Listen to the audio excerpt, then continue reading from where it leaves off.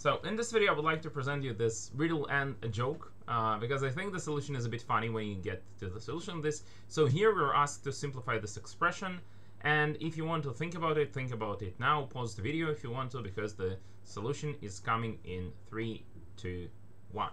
Well, uh, the first uh, I mean, idea that comes to mind is to you know open this expression. So if we think about, if we were thinking about you know uh, opening it up with uh, the Vieta formula, so we have 26 letters in the alphabet, bed, so something like x to the power of 26 minus a plus b all the way up to z here times x to the power of 25 and all the way until we get to the product a times b times c times all the way up to z. Well, that's that's not what we want because this is making things even more complicated than uh, it's written in this way.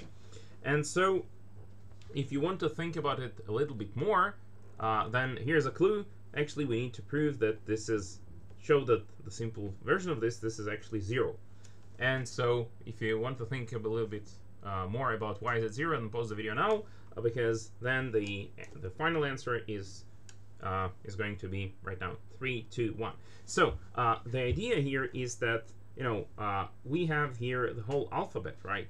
And uh, so since this is passing through all the alphabet, we uh, tend to forget that we think of x as a variable and we forget that's also a letter in the English alphabet. So there's a bracket here containing x minus x and as a result x minus x is 0 and this is a product as a result we will get 0 here. And so it's a bit funny you know because uh, the way we're, we're thinking uh, then we think of x as a variable and uh, a, b, c, a, b's and c's are constants and then you know we think that okay this is a variable here a function of x and then there is constants and yeah but we need to think that uh, not to forget that x is a variable but also a letter in the english alphabet. So I, I, think in my opinion it's a very nice and fine riddle which is easy to solve easy to understand and really fun once you solve it. So please if you liked it share it with others with as many people as you can and please consider subscribing. It will really help me grow and develop the channel. Thank you for watching